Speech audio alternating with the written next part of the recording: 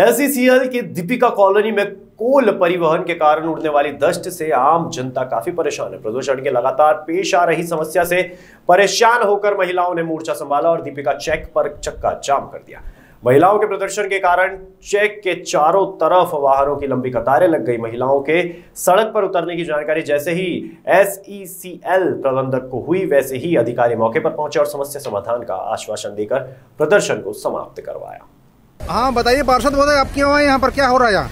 यहाँ पर डस्ट बहुत ज़्यादा उड़ रहे हैं और बहुत ज़्यादा हम लोग परेशान हैं और जितने आए हैं महिलाएँ बहुत ज़्यादा ही परेशान हैं। तो हम लोग बच्चे से लेकर बूढ़े तक बहुत ज़्यादा एकदम खांसी पीड़ित हैं। तो हम हम लोग की मांगे हैं कि कम से कम तीन बार पानी डालें और जो डस्ट उड़ रहा है उसको कम करवाएँ। आप लोगों ने इसी शिकायत प्रबंधन से की है क्या किए थे किए थे। तो फिर आप लोगों को मांग पूरी नहीं हो रही है? नहीं नहीं हो रही। मांग पूरी नहीं हो रही है। तो अब अगला अंत, क्या चरण क्या है इसके बाद क्या करेंगे? अगर मांग पूरी नहीं हो रही तो?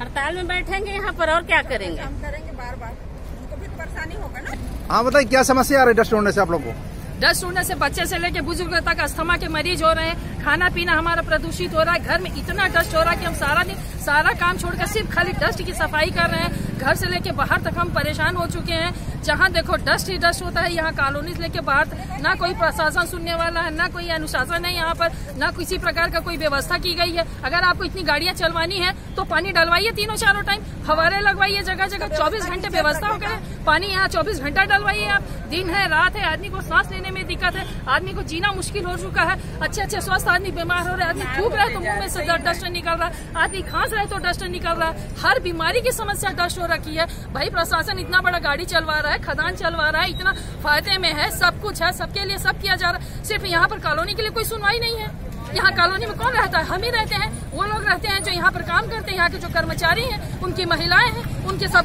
बच्चे हैं छोटे छोटे घर में बच्चे हैं, जीना मुश्किल हो रहा है।